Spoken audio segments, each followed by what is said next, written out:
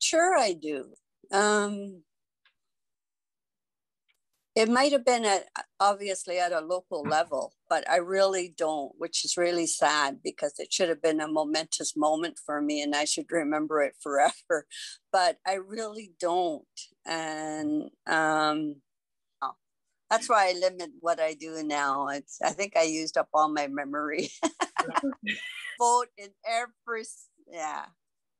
I, I do exercise my right to vote every opportunity I get and i try to encourage other people to go vote because you know if you don't vote then you don't have the right to complain about the person elected mm-hmm. you know I, and again it, it goes back to engagement again how engaged people want to be it's very very easy to complain but it's harder to do something about it um, and and the one little example i use is my parents you know we've seen a lot of change in our lives um, and our history is so so close behind us like this is in my lifetime.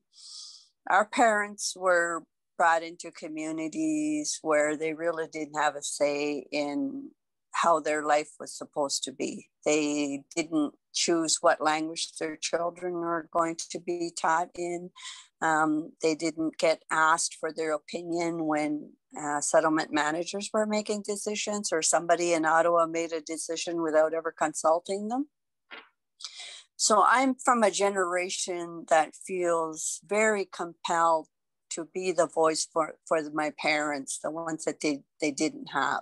And I do have a mother, Rhoda Karetak, who was very much a woman ahead of her time, and she was very engaged. But I think of many many times that as a young mother that she didn't have that opportunity, and those of her generation.